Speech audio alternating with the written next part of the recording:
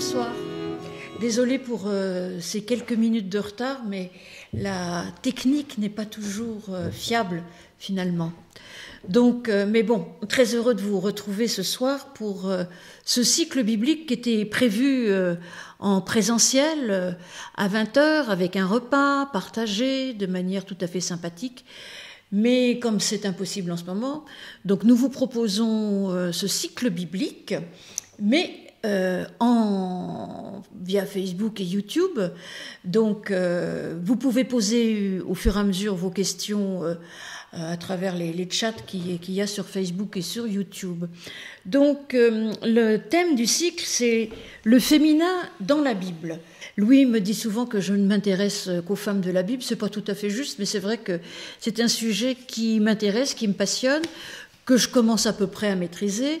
Et d'un autre côté, je m'aperçois que quand je côtoie euh, euh, des paroissiens, des paroissiennes, euh, ou bien des gens plus à l'extérieur, la vision qu'ils ont justement des femmes dans la Bible, ou même des récits qui inscrivent les femmes dans la Bible, eh bien, finalement, ils ont des opinions que je trouve assez erronées.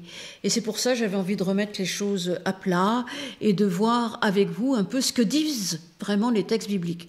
Alors il y a quatre soirées, c'est pas en quatre soirées qu'on va voir tout, l'ensemble euh, de ce que dit la Bible des femmes. D'ailleurs, comme tous les sujets, la Bible dit des choses positives et il y a aussi des figures très négatives de la femme, comme Jézabel ou d'autres.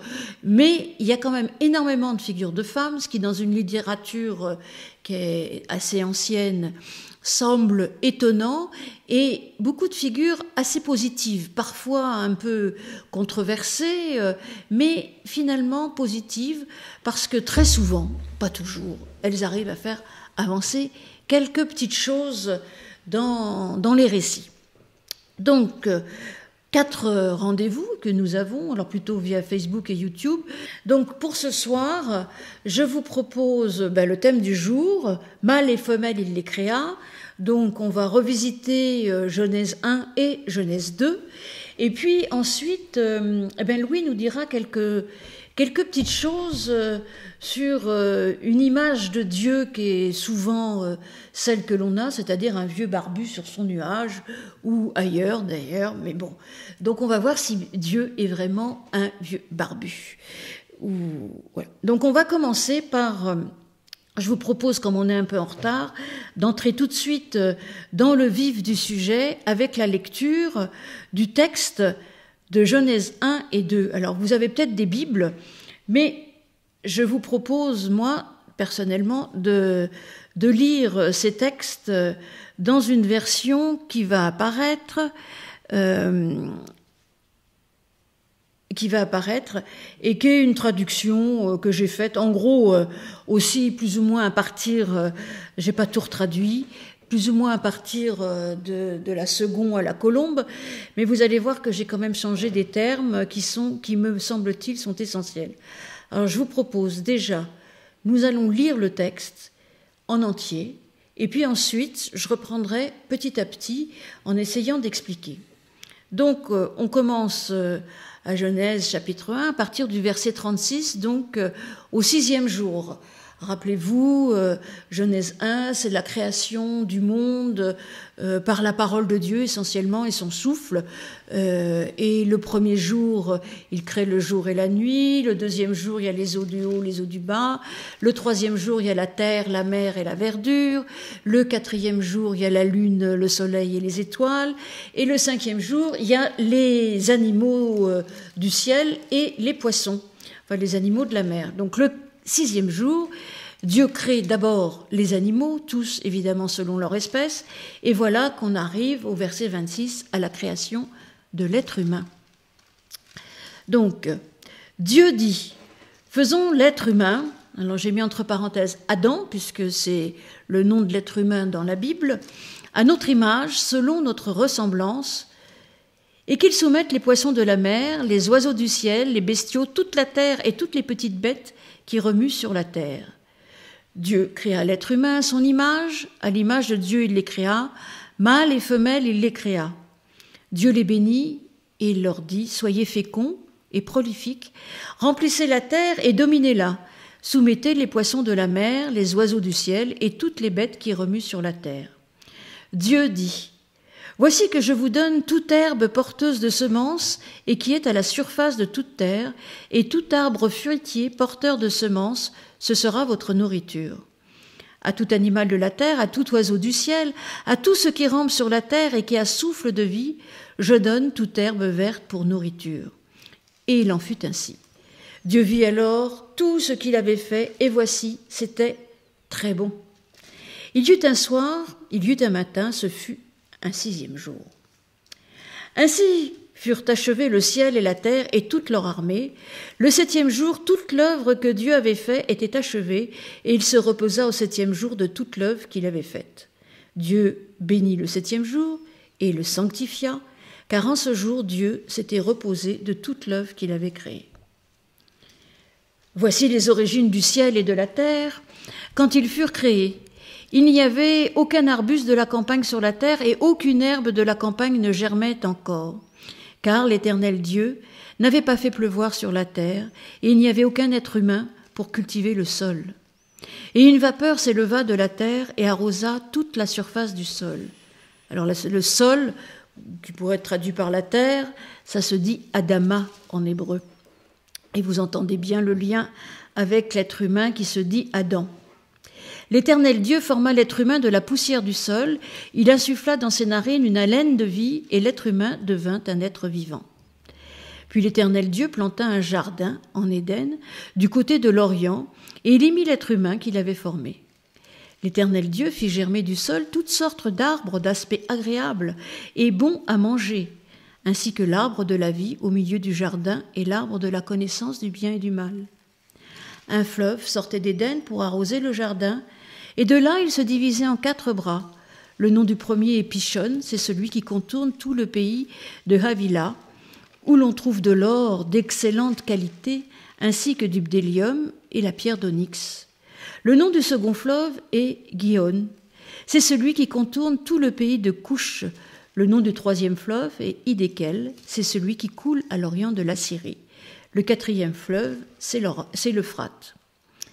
L'Éternel Dieu l'être humain et il le plaça dans le jardin d'Éden pour le cultiver et pour le garder. L'Éternel Dieu donna ce commandement à l'être humain. Tu pourras manger tous les arbres du jardin, mais tu ne mangeras pas de l'arbre de la connaissance du bien et du mal, car le jour où tu en mangeras, tu mourras. L'Éternel Dieu dit, Il n'est pas bon pour l'être humain d'être seul. Je veux lui faire une aide, comme son vis-à-vis. L'Éternel Dieu modela du sol toute bête des champs et tout oiseau du ciel. Il les amena à l'être humain pour voir comment il les appellerait afin que tout être vivant porte le nom dont l'être humain l'appellerait. L'être humain appela par leur nom tout bétail, tout oiseau du ciel et toute bête des champs, mais pour lui-même, l'être humain ne trouva pas d'aide comme son vis-à-vis. L'Éternel Dieu fit tomber dans une torpeur l'être humain, qui s'endormit. Il prit l'une de ses côtes et referma les chairs à sa place. L'Éternel Dieu bâtit de la côte qu'il avait prise à l'être humain en une femme qui lui qu'il euh, il doit manquer un moule hein, qu'il hmm, en une femme qu'il euh, à l'être humain. Bon, l'être humain dit Voici cette fois l'os de mes os et la chair de ma chair. Celle-ci, on l'appellera femme, Isha, car c'est d'un homme Ish qu'elle a été prise. C'est pourquoi l'homme abandonnera-t-il son père et sa mère pour s'attacher à sa femme et ils deviennent une seule chair.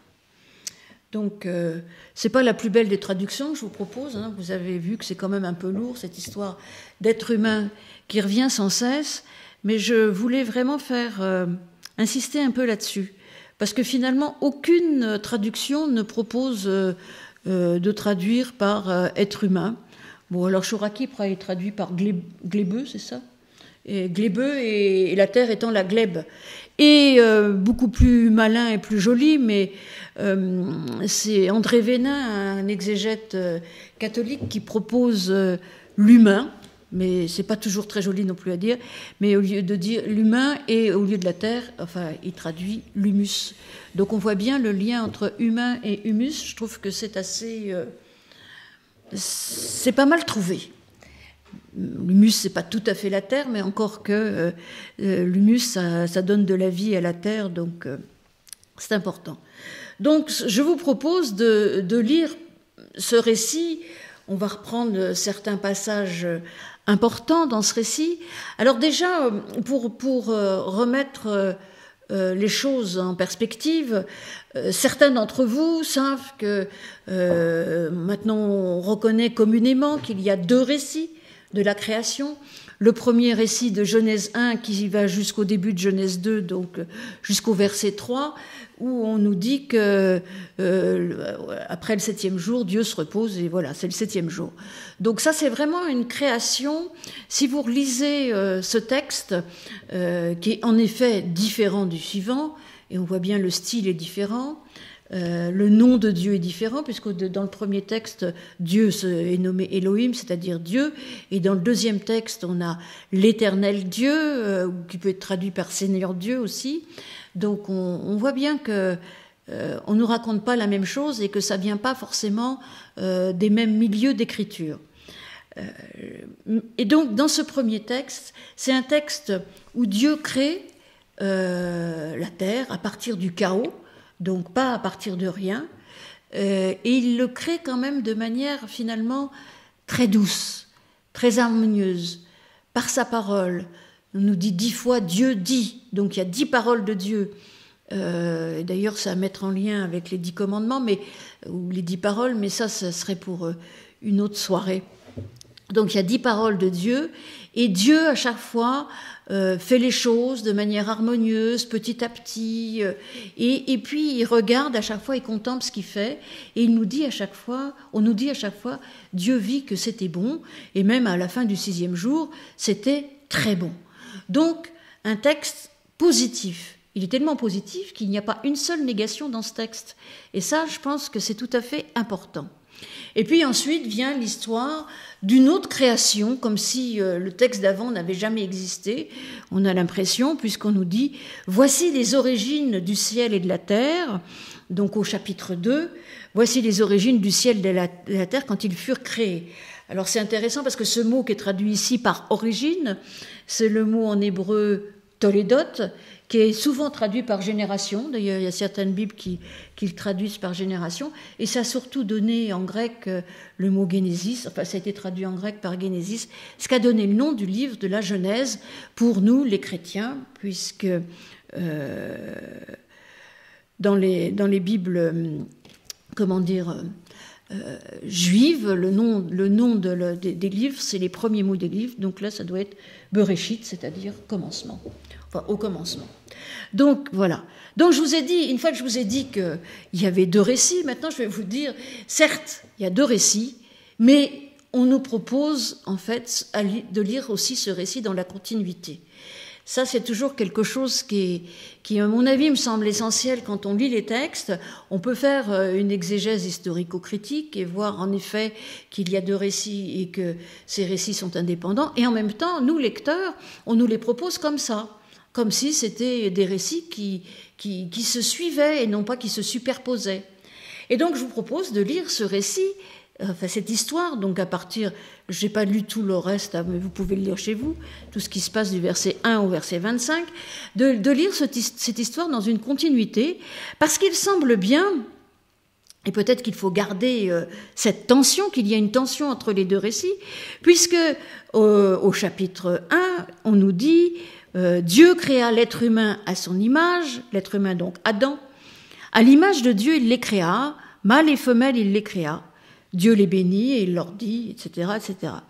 Donc euh, cette petite phrase euh, qui pourrait faire couler beaucoup d'encre, alors je vais laisser de, côté l'image et la ressemblance, qui n'est pas très bien traduit d'ailleurs là, mais ça, ça serait, Louis a déjà prêché là-dessus d'ailleurs, je crois, mais bon. Ce qui m'intéresse là, c'est que dans ce texte, ce n'est pas Dieu créa l'homme à son image, euh, homme et femme il les créa, comme vous allez trouver dans la plupart des, dans la plupart des, comment dire, des, des traductions, mais c'est bien l'être humain, donc Adam. Et si on lit bien, si on fait très attention, Dieu créa l'être humain à son image, à l'image de Dieu il les créa, mâle et femelle il les créa, comme si cet être humain Alors évidemment, il y a des, c'est assez complexe hein, parce qu'il y a des, il y a des, pluriels, des singuliers. Euh, mâle et femelle, il les créa. Mais en tout cas, ça nous laisse à penser que cet être humain, il n'est pas forcément euh, euh, homme ou femme, il est mâle et femelle. Alors, à l'image de Dieu, alors ça, je te laisserai, parce que l'image de Dieu, elle est mâle et femelle. Bon, point d'interrogation, ça c'est pour tout à l'heure. Et donc, mais on dirait presque que l'histoire n'est pas vraiment finie. Alors elle va se continuer, toujours Dieu voit que c'est très bon, et puis on continue, et puis tout se passe encore bien, Dieu se repose.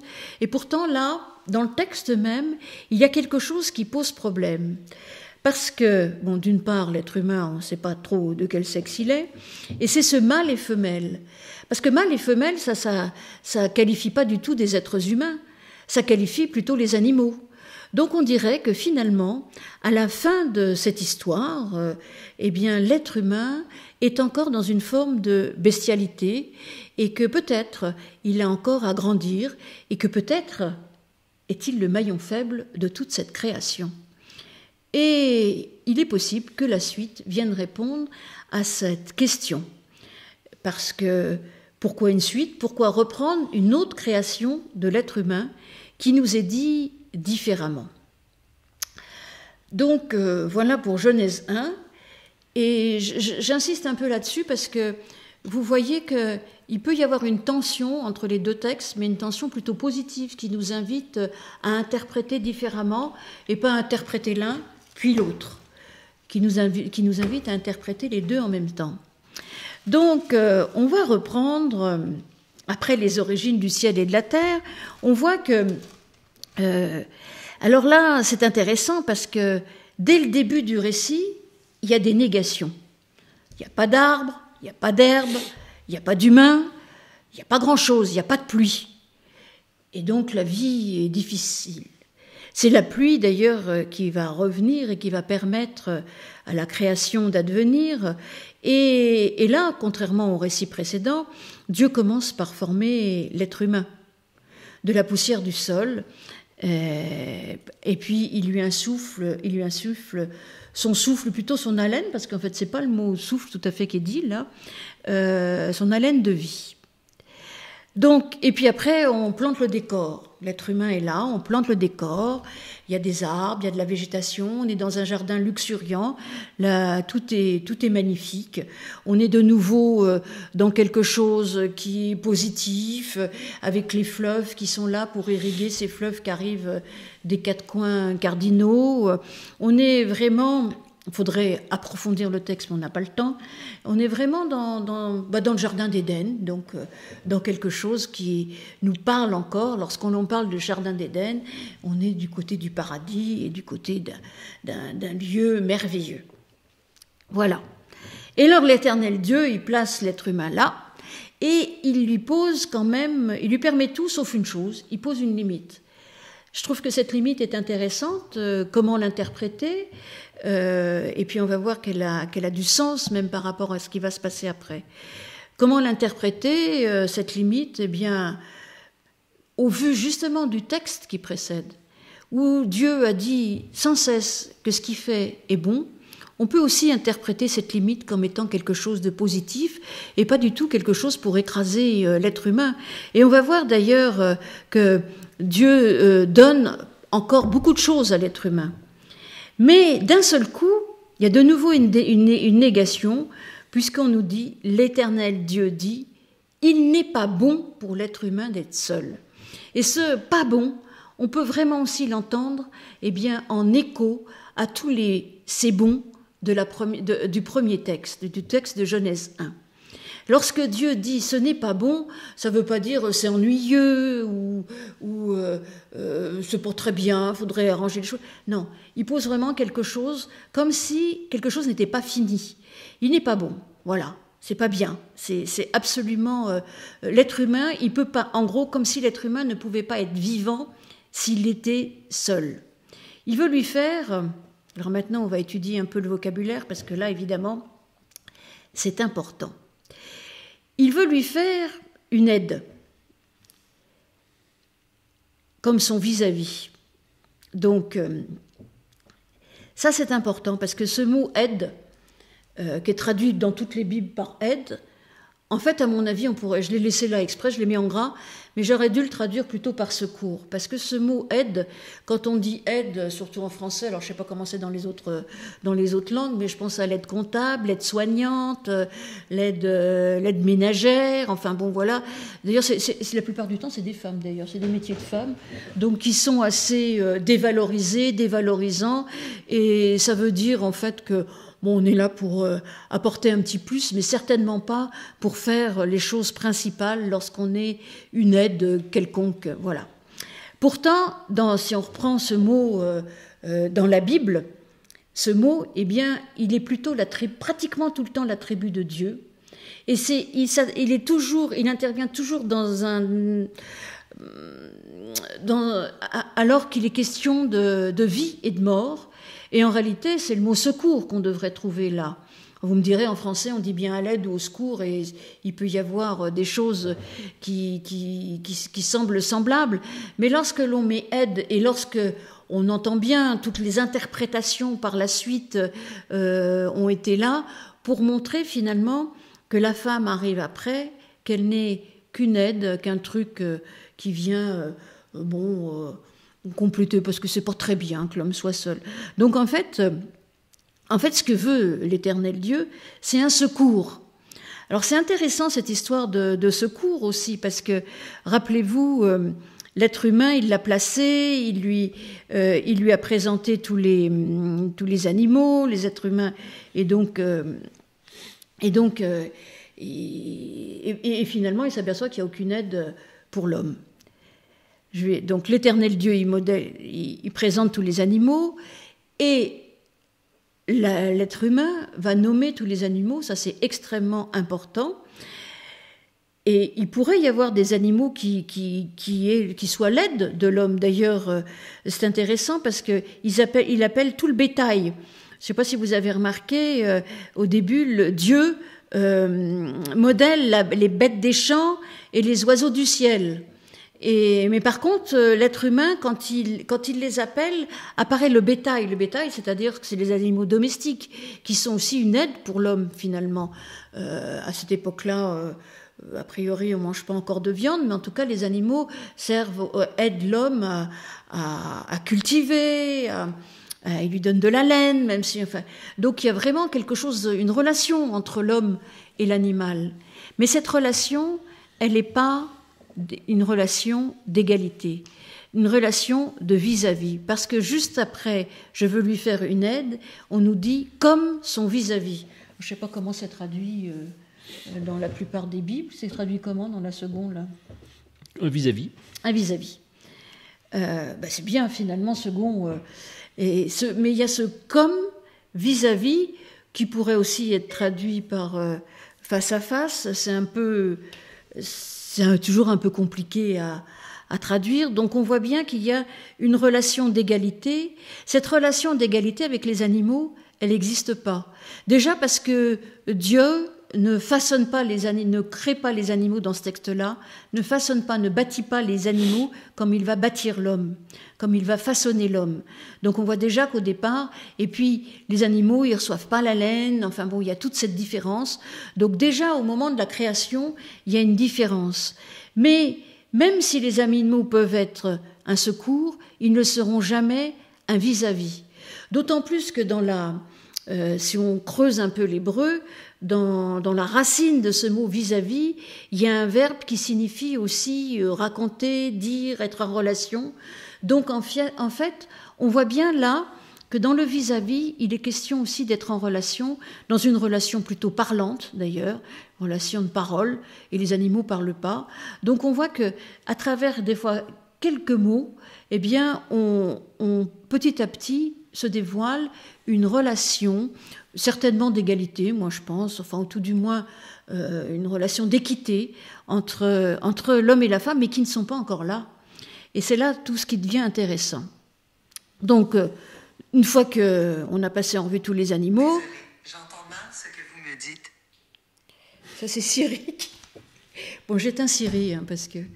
Et euh, une fois qu'on a qu'on a gommé tous les, passé tous les animaux en revue, eh ben l'Éternel Dieu euh, s'aperçoit qu'il n'y a toujours pas d'aide, toujours euh, comme son vis-à-vis. Donc, qu'est-ce qu'il fait? Eh bien, il met l'être humain en torpeur, il le met, euh, il l'endort et, et il prend une de ses côtes. Et puis il referme la chair à sa place. Alors là aussi, c'est très intéressant parce que ce mot côte, c'est comme en français d'ailleurs, euh, côte et côté, c'est le même mot. Et en hébreu aussi, en fait, euh, est-ce que l'éternel Dieu prend une côte, une de ses côtes, ou un de ses côtés? Ce qui n'est pas tout à fait la même chose. Alors, je n'ai pas la réponse. Hein, je vous laisse. Euh, mais en tout cas, on a toujours voulu nous orienter d'un seul côté, d'ailleurs. C'est que on prendrait une côte de l'homme, enfin de l'être humain, pour en faire une femme. Or, euh, et dans la tradition juive, en fait, ils ne le lisent pas vraiment comme ça, ils le traduisent aussi comme euh, prenant un côté de l'homme, de l'être humain, pour en faire une femme. C'est-à-dire que là, on a deux moitiés qui sont séparées euh, et qui montrent en fait que on peut encore être sur un pied d'égalité. Donc je vous laisse, moi j'ai choisi mon camp, vous l'aurez bien compris, mais enfin bon, je ne vais pas non plus me battre pour ça.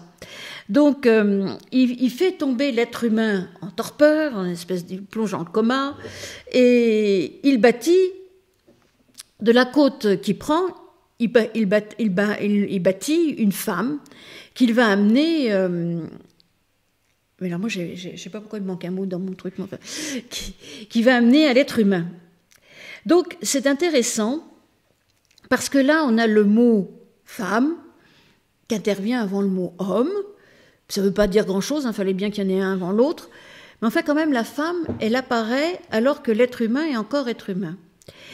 Et l'être humain dit Voici cette fois l'os de mes os et la chair de ma chair. Celle-ci, on l'appellera femme, Isha, car c'est d'un homme, Ish, qu'elle a été prise.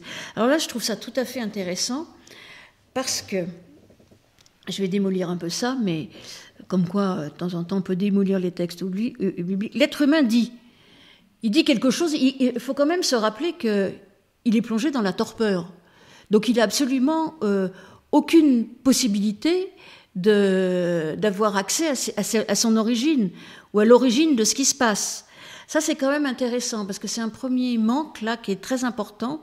Il est plongé dans cette torpeur qui fait que, voilà ce qu'il dit après, voici cette fois l'os de mes os et la chair de ma chair, pourquoi pas? Celle-ci, on l'appellera femme, car c'est d'un homme qu'elle a été prise. Or, le texte ne nous dit pas du tout ça. Le texte nous dit c'est de l'être humain qu'elle a été prise, que ce soit une côte ou un côté, c'est en effet de l'être humain qu'elle a été prise. Mais bon, finalement, il y a une certaine mauvaise foi, on a l'impression dans, dans cet énoncé, mais on va, je vais glisser un peu là-dessus. Euh, ce qui est intéressant là, en fait, euh, c'est que la création de l'homme et la femme ici, elle est simultanée. C'est-à-dire que l'être humain devient vraiment un être différencié en même temps, c'est-à-dire qu'en même temps, il y a l'apparition de la femme et de l'homme. Une fois que les deux sortent de la torpeur, ça ne nous est pas dit, mais comme il prend la parole, il faut bien imaginer qu'il est sorti de sa torpeur. Et ça, c'est quelque chose qui, qui, est très interpellant, parce que finalement, on a toujours dit, euh, la femme, elle a été prise de la côte d'Adam, et puis de toute façon, elle est arrivée en deuxième, d'ailleurs c'est ce que Paul dira hein, euh, dans, ses épîtres, mais en réalité, si on lit vraiment ce texte, la femme arrive en même temps que l'homme, de manière euh, elle est l'aide, en tout cas, on ne sait pas qui est l'aide de qui, hein, puisque en fait, mais l'aide est un secours. Et cette histoire de vis-à-vis et de face à face les place quand même sur un pied d'équité. Mais aussi, en même temps, il y a la différenciation, à mon avis, qui est essentielle là. C'est-à-dire que tout à l'heure, je parlais de Dieu qui mettait une limite dans le jardin à travers l'arbre de la connaissance du bien et du mal. Et là aussi, il pose une limite en réalité. Il pose une limite lorsqu'il dit il n'est pas bon pour l'être humain d'être seul, parce que quand on est seul, on est sans limite. Certes, on s'ennuie quand on est seul, mais à mon avis, quand on est seul, on est aussi sans limite. On peut faire ce qu'on veut. En tout cas, quand on se croit seul aussi, on peut faire ce qu'on veut. Eh bien, nous avons une limite dans l'autre, dans cet autre qui, comme euh, la racine le, laisse supposer, ce vis-à-vis, ce face-à-face, cet autre avec lequel on est invité à rentrer en relation et à rentrer en pourparler. Ce pourparler, il peut être parfois un peu euh, tendu, il peut, mais en tout cas, il est là pour nous apprendre à discuter ensemble, à vivre ensemble. Et puis finalement, il y a une bonne une espèce d'happy puisque l'homme euh, est censé abandonner son père et sa mère. Bon, pour l'instant, il n'y a pas de père et pas de mère, donc euh, c'est quand même assez. Bon, c'est quand même des récits mythologiques hein, de dire euh, certaines choses, mais finalement, ils, ont cette force, ces récits mythologiques, c'est quelle que soit l'époque à laquelle on les lit, ils nous, disent quelque chose sur nous et sur notre époque.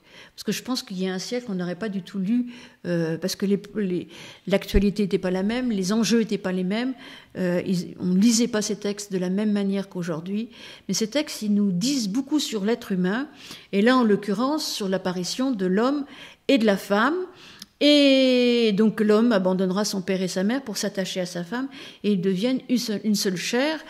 Étant bien donné, bien entendu, que le mot chair en hébreu n'est pas forcément profondément euh, péjoratif, la chair bassar, ça veut dire tout simplement, eh bien que qu'on est fini, ça, annonce notre finitude et le fait que cette chair un jour va se décomposer, c'est pas très joli, mais en tout cas, c'est pas du côté de la chair, du péché ou tout ce que tout ce qu'on a pu imaginer ou dire sur la chair. Donc voilà un peu sur euh, euh, ce que j'ai à dire sur ce texte. Euh, une autre fois, j'aurais pu vous parler du texte suivant, celui dit euh, du Jardin d'Éden avec Adam et Ève. Mais j'ai prêché, et d'ailleurs je vais écrire ce texte, et je, le mettrai sur le, set, sur le site. J'ai prêché là-dessus il n'y a pas très longtemps, je pense le 25 ou le 26 euh, octobre. Et pour dire que finalement, euh, le péché, c'était probablement pas quand il mangeait le fruit, donc euh, il n'est pas du fait de la femme, mais le péché, euh, c'est plutôt quand ils se cachent, quand ils ont peur de Dieu, etc., etc. Donc la femme, là aussi, est co-coupable avec l'homme, et comme là, ils sont ben, co... co-créés. Voilà un peu. Je... J'ai laissé Louis suivre les, le fil des questions. Mhm. Il n'y en a pas trop, à mon avis. moi, ça rame bien. Hein. voilà. Non, ça marche bien. Mais tu peux réagir, Louis. Non, c'est très bien ce que tu dis, c'est parfait. C'est très bien. Rien de particulier à ajouter là-dessus, si ce n'est que je me méfie toujours un petit peu. Clairement, de toute façon, à cette époque-là, les gens étaient patriarcaux, hein, donc euh, euh, essayer de trouver une défense de la femme dans un texte qui a 3000 ans, c'est un tour de force qui n'est pas indispensable à mon avis. C'est-à-dire j'assume pleinement que les textes bibliques peuvent euh, avoir été écrits par des hommes qui euh, considéraient que l'homme était supérieur à la femme. Donc c'est vrai qu'en creusant bien, en creusant bien, on arrive à trouver des, des, défenses, mais mais il n'y en a pas besoin, à mon avis. Tu vois, j'en ai pas du tout besoin. Pour moi, l'homme est l'égal de la femme, point. J'ai pas besoin que la Genèse toi, je me demande si, si tu travailles pas à l'envers, c'est-à-dire que tu essayes à tout prix d'essayer de chercher, de, montrer que l'homme est l'égal de la femme, donc on creuse, on creuse, on creuse, et en trouvant bien, on arrive à dire que, que la Bible finalement le disait déjà. Mais, mais, euh, mais, finalement, tant mieux, ce qui prouve que la Bible n'était pas complètement idiote, et c'est pour ça qu'on la lit encore. Hum. Mais euh, tu l'as dit d'ailleurs à un moment donné, évidemment qu'on lit aussi la Bible à partir de notre propre culture. Aujourd'hui, notre culture, c'est l'égalité homme-femme, que je crois très juste et pour des raisons anthropologiques plus que directement bibliques. Encore que si on lit le Nouveau Testament, euh, Jésus ne fait aucune différence entre hommes et femmes. Oh, aucune. Euh, aucune différence entre les, aucune différence. Et Paul dit il n'y a ni homme ni femme, ni juif, ni homme libre, etc. Et donc, euh, je pense que pour le Nouveau Testament, en tout cas théologiquement, il n'y a ni homme ni femme. Et ça, c'est un, une approche biblique. Et après, on est heureux de voir que finalement, la Genèse s'en sort pas trop mal. Moi, je pense que, en fait, si je fais ce travail-là, moi personnellement, euh, euh, mais c'est aussi pour euh, tordre le cou aux, autres interprétations et dire que les autres interprétations ne sont pas toujours justes et que finalement, dans les textes bibliques, il y a certainement beaucoup plus de choses qui nous concernent et qui parlent même des problèmes actuels. et puis, ce qui m'ennuie un peu, c'est que dans notre société, alors, je parle pas des fondamentalistes chrétiens qui seraient horrifiés par euh, ce que je viens de dire, mais que même euh, les, les athées ou les gens qui ont peu de culture biblique connaissent ces textes, mais ils en connaissent que l'interprétation qu'on en fait, qui n'est pas forcément juste.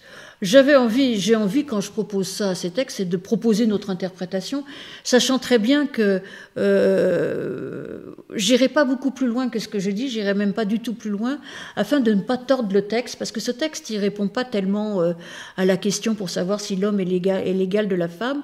Ce texte il nous dit tout simplement que euh, surtout, il nous dit beaucoup sur l'être humain en général euh, et notre relation à Dieu. Il hmm. parle de Dieu plus que de l'homme et de la femme, peut-être. Cela dit, je crois que la Bible, bien qu'étant dans un peuple finalement patriarcal, dans le fond, l'ensemble de la Bible a une très bonne image de la femme. Et que la femme a toujours un bon rôle. Et que, en fait, les hommes dans la Bible sont, sont toujours faibles, pécheurs, euh, violents, euh, jaloux, égoïstes, enfin, ne font que des erreurs. Et les femmes, il y en a très peu de mauvaises. Alors, il y a Jézabel, il y en a une ou deux qui sont pas sympathiques. sont pas mais en général, les femmes sont toujours super, quoi. Et, les femmes dans la Bible, c'est toujours elles qui sauvent la situation. Elles sont toujours formidables. Elles sont, euh, elles sont impeccables. Enfin, c'est elles les vrais modèles. Et donc, je pense que la Bible, dans le fond, est très féministe. Et, jusque dans le Nouveau Testament, il y a un nombre de femmes incroyables dans le Nouveau Testament, euh, beaucoup plus qu'on ne pense, comme, comme tu le dis aussi, hein, et qui ont toujours un rôle positif. Elles sont toujours formidables, ces femmes, quoi. Et, et donc, la Bible, en fait, est, est fondamentalement écrit dans un peuple qui a un très grand respect de la femme. Mm. C'est comme ça, ça aurait pu être autrement, hein, mais, mais c'est un fait et je m'en réjouis. Je m'en réjouis. Oui. Et puis, bon, enfin bon, on aura toute l'occasion lors de ce cycle de, voir ça. Mais là, j'ai tout à l'heure, je, je, ne me suis pas arrêtée sur la création de, de l'être humain mâle et femelle, il les créa. Mais donc, je vais te passer la parole pour que tu nous dises un peu si Dieu est vraiment un, un gros monsieur barbu. Euh, euh. Alors, je vais le faire assez rapidement, ça mériterait d'être développé. Oui. Euh, le problème, c'est quand on parle de ça, on est obligé d'utiliser des sortes de stéréotypes très critiqués aujourd'hui dans les milieux féministes, euh, qui voudraient dire que la femme, a priori, elle est de l'ordre de la, douceur, de la, de, de, la tendresse, de la, de la compréhension, de la gentillesse, et que l'homme serait au contraire du côté de la, de la force, de la violence, du jugement, et, et, etc. Alors je ne sais pas si tu assumes ces, ces, stéréotypes. Non, pas du mais, tout. Mais à ce moment-là, euh, s'il n'y a pas de stéréotype, à ce moment-là, Dieu, il est Dieu et on s'en fiche qu'il soit homme ou femme. Si l'homme est l'égal de la femme, il y a, la question ne se pose même pas.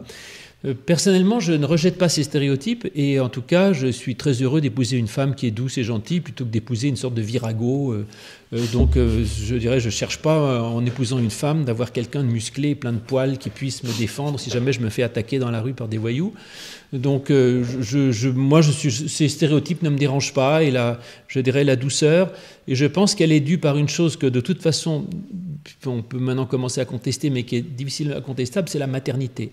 C'est-à-dire qu'effectivement, de toute façon, euh, la mère est une femme, normalement, hein, et que c'est la première à s'occuper d'un bébé, à comprendre un bébé, une mère est capable de, parler au bébé qu'elle a dans son ventre alors que moi, en tant que père, euh, le bébé dans le ventre, c'est complètement euh, théorique. Et un bébé qui vient de naître, bon, ben, ça pleure et il faut changer sa couche, mais enfin, à part ça, j'ai pas de relation formidable avec elle. Donc je pense que la mère, de toute façon, a, un rapport avec l'enfant qui n'est pas le rapport du père. Donc je, je pense que, à mon avis, mais ça peut être un débat qu'il faudrait prendre une autre fois, je pense que ce serait une erreur de mettre absolument en égalité les modes relationnels de la femme et de l'homme sur, euh, sur les autres.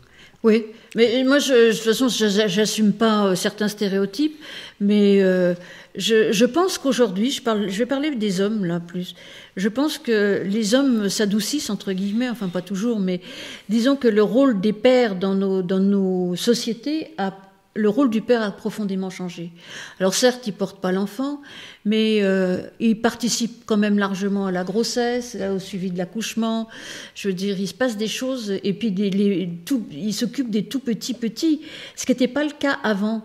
Et je pense que si toi, tu n'as pas envie d'épouser une femme à barbe, ce que je peux comprendre, moi, je suis très heureuse d'avoir eu un mari qui était très présent euh, euh, dans, dans, tous ces moments-là importants.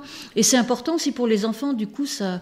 Mais bon, ça serait un autre débat. Donc, Alors, ça de côté et voyons, alors voyons Dieu. Dieu est-il du côté de l'homme ou de la femme?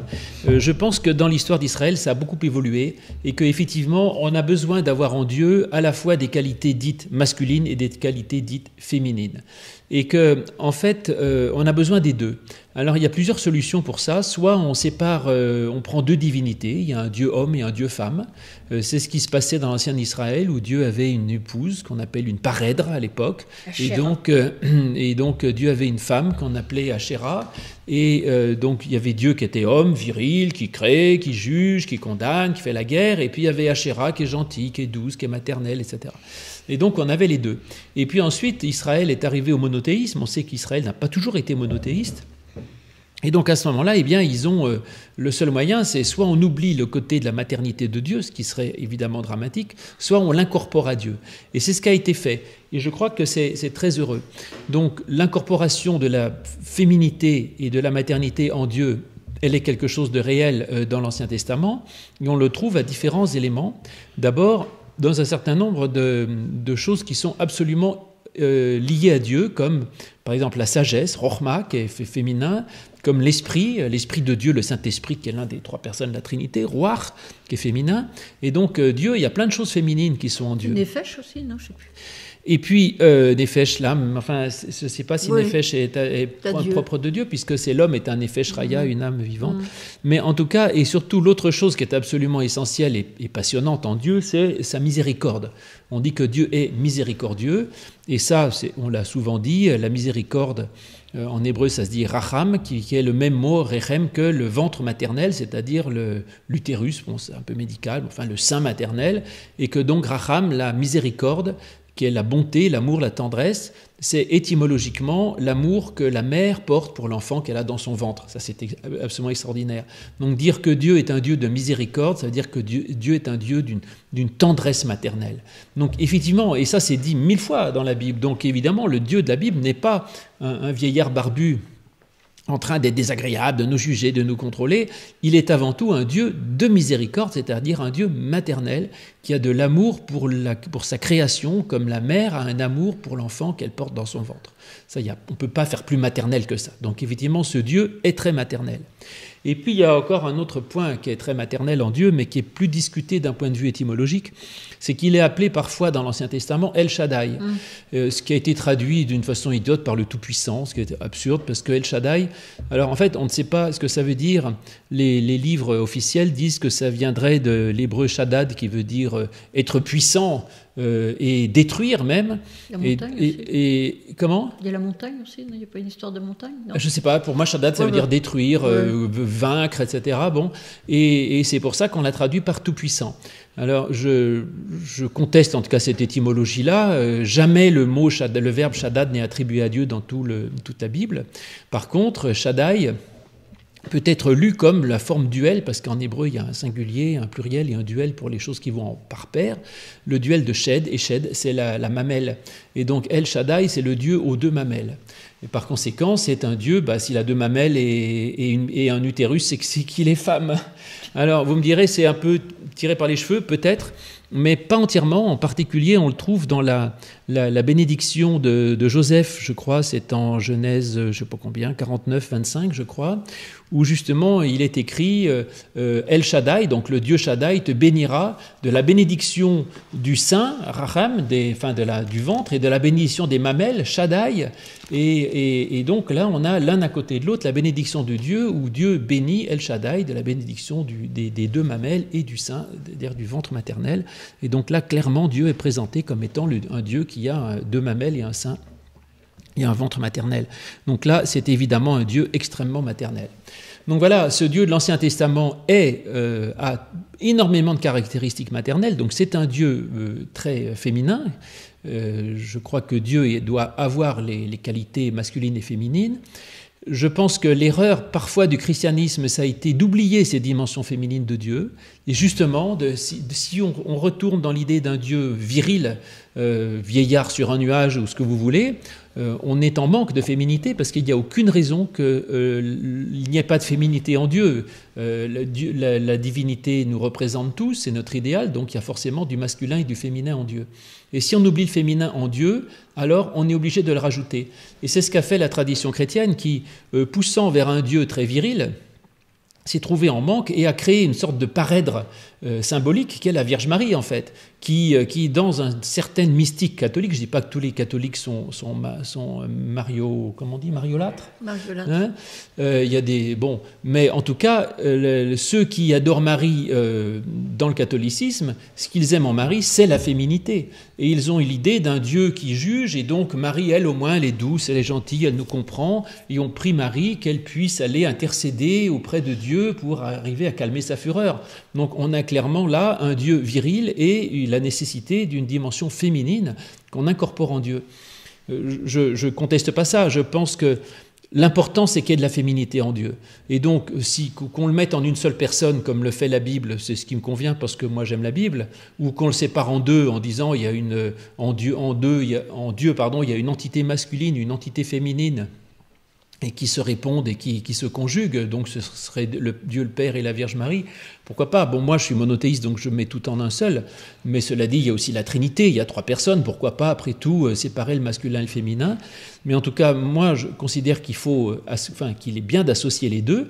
Mais si on prétend n'avoir qu'un Dieu, et si les protestants prétendent ne pas croire dans la Vierge Marie ou ne pas adorer la Vierge Marie, il est essentiel en tout cas qu'ils incorporent toute la féminité mariale, je dirais, en Dieu lui-même, c'est-à-dire croire dans un Dieu de grâce, de tendresse, de bonté et de pardon. Et c'est un peu ce qu'a fait la Réforme. Parce qu'en fait, la Réforme a prêché un Dieu qui finalement était beaucoup plus féminin que le Dieu des prédicateurs médiévaux, qui était redoutable, qui était un Dieu terrifiant. Euh, le Dieu des réformateurs, c'est un Dieu de grâce, un Dieu de tendresse, un Dieu de bonté, un Dieu qui accueille, un Dieu qui pardonne et qui sauve. Et donc finalement, oui, on, retombe dans un Dieu beaucoup plus féminin et beaucoup plus proche. Et, je crois que ce n'est pas un hasard. En tout cas, je, maintiens que, je ne dirais pas si Dieu est plus féminin que masculin, euh, il est absolument essentiel que Dieu soit à la fois féminin et masculin. Et quand on appelle Dieu Père, ça me semble très embêtant. Alors certains féministes veulent absolument euh, appeler Dieu Mère, notre Mère qui est aux cieux. Euh, pourquoi pas? Dieu est à la fois père et mère, Dieu est parent. Alors par père entendez mère si vous voulez, mais en tout cas Dieu est à la fois père et mère. Voilà, ça c'est mon point de vue. Oui, mais je suis entièrement d'accord avec toi. Quant, euh, quant, au Dieu Père, finalement, je trouve que euh, c'est intéressant aujourd'hui parce que nos, on est quand même dans des sociétés, comme je disais tout à l'heure, où, le rôle du Père euh, change. Et finalement, plus le rôle du Père changera, et plus, moins ça me dérangera d'appeler Dieu, Père. oui, c'est ça. Bah oui. En, réalité, euh, aujourd'hui, euh, de toute façon, on le sait, on le sait bien. Aujourd'hui, euh, dans les hommes, il y a de la féminité, dans les femmes, il y a de la masculinité. Après, où se situe le, bah, suivant les personnes, ça se situe pas au même. au même niveau. Hein. Il y a des femmes très autoritaires et des hommes profondément euh, tendre. tendre, compatissant, je ne sais pas, mais l'un n'empêche pas l'autre. Donc euh, on sait bien que les curseurs, on n'est pas entièrement euh, euh, mâle ou entièrement femelle, même chacun d'entre nous. Donc à nous de trouver notre chemin. Et bon, bon, puis de toute façon, moi j'ai tellement l'habitude de dire notre père, je vais pas dire notre mère ou mon parent, je ne sais pas, parent 1, parent 2, je ne sais pas quoi. Donc c'est un peu compliqué tout ça. Et je pense qu'on aurait aussi intérêt non seulement par rapport à Dieu, où je rejoins complètement ce que, tu dis, mais même euh, euh, de s'accommoder de certaines choses. moi, finalement, je m'accommode très bien de dire notre Père. Euh, je trouverais ça un peu bizarre de dire notre mère. Et puis, de toute façon, dans les textes, c'est pas comme ça. Et c'est d'autant pas comme ça, c'est que la manière dont nous est présenté Dieu, si on approfondit les textes, eh bien, c'est un Dieu en effet qui qui est ni homme ni femme ou homme et femme à la fois, je ne sais pas. Mais en tout cas, le problème ne, se pose pas vraiment.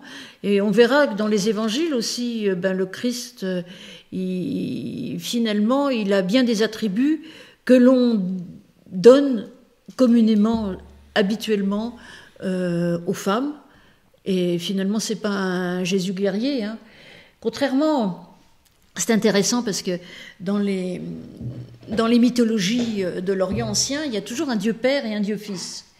Alors le Dieu Père, en général, c'est en effet un vieillard euh, bedonnant, euh, pas très agile, euh, un peu impotent. euh, et le Fils, par contre, c'est toujours un Dieu guerrier, comme le Dieu Baal que l'on voit.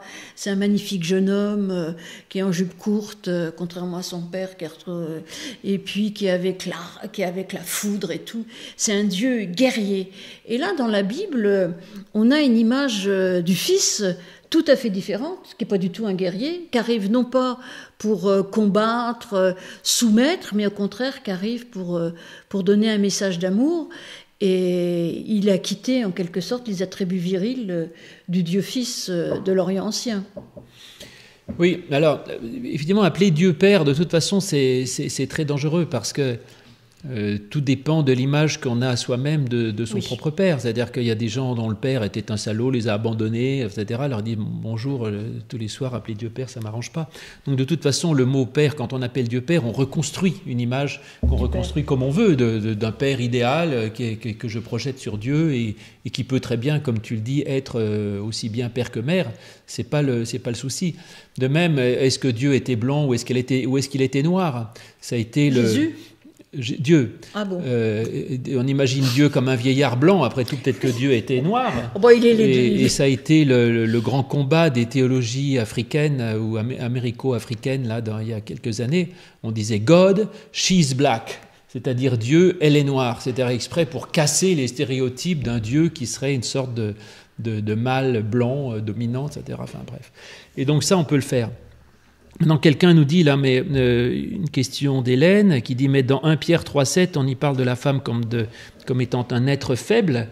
Euh, réponse euh, certainement que c'est l'idée qu'on avait de la femme quand on a écrit, quand a été écrite cette lettre de Pierre. Euh, la lettre de Pierre, je ne peux pas dire que je la recommande. Elle est évidemment apocryphe, tardive. Elle date probablement du milieu du deuxième siècle. Euh, alors déjà que je suis pas très certain qu'il faille forcément chercher dans la Bible euh, l'image qu'on aurait nous aujourd'hui de la place de la femme dans la société. Alors dans l'épître de Pierre encore moins. Donc parce que par exemple souvent des des mariés disent ah on va se marier, il faudrait trouver un verset. Alors est-ce qu'on va trouver des versets sur le mariage dans la Bible? J'ai écouté alors là c'est dangereux parce que la conception du mariage est très très euh, liée à culturelle et donc dans l'Ancien Testament euh, il y avait la polygamie déjà Ouais. donc euh, Salomon avait 300 femmes et Mille. 700, 700 concubines. Je sais pas combien, il en avait beaucoup donc. Y euh, si c'est ça l'image de, de- etc. Et puis après, il y a Paul, femmes, soyez soumises à vos maris et tout ça. Donc c'était l'image qu'on avait à l'époque. Euh, effectivement, dans la société, les, les femmes devaient être soumises à leur mari dans le mariage. Alors il utilise ça pour parler de tout à fait autre chose. Je pense Oui. que la question de Paul n'est pas du tout la- la- le rôle dans le mariage, mais c'est la soumission de l'Église au Christ. Mais en tout cas, prendre, essayer de chercher dans l'Évangile ou dans la Bible euh, des, des- questions de rapports euh, sociaux est évidemment dangereux. Et tu l'as dit tout à l'heure, euh, la question de la Bible n'est pas là pour dire la place de la femme par rapport à l'homme, mais elle est là pour parler de notre position par rapport à Dieu. Et là-dessus, la Bible, elle est formelle, c'est que dans, la relation à Dieu, la femme n'est pas inférieure à l'homme dans la relation à Dieu. Ça, c'est sûr. Et puis finalement, c'est vrai que ces textes euh, euh, de Pierre, mais même dans certains textes de Paul qui sont moins tardifs, hein, je veux dire, euh, Paul, il a quand même pas une vision de la femme euh, qui est celle qu'on a aujourd'hui, mais enfin, il, il rac- il raconte son époque, Paul. hein. Oui. Je veux dire, il raconte pas autre chose que, que ce qu'il constate. Et je dirais même que dans son époque, euh, il donne un, un rôle, une place, il a une relation avec les femmes qui est certainement euh, euh, beaucoup plus en avance par rapport, enfin je sais pas si c'est en avance, mais dans son époque même, il a des vraies relations avec certaines femmes, ça nous est raconté particulièrement dans l'épître aux Romains, et, et donc on, on voit un Paul qui, qui côtoie des femmes, qui, euh, qui les appelle même apôtres, enfin bon, donc vraiment, euh, faut pas non plus projeter euh, les, nos comment dire, nos débats d'aujourd'hui euh, dans, dans, dans, un, dans un débat d'il y a 2000 ans qui parlait pas de ça. Mais par contre, ce qui est intéressant, et c'est pour ça que je trouve que ce, C'est ce que on va essayer de voir au, cours de ce cycle, et c'est ce que tu as dit. C'est que la place de la femme dans la Bible est quand même euh, tout à fait étonnante. Justement, dans une société patriarcale, on ne devrait pas avoir trop de femmes. Euh, en tout cas, pas aussi présentes.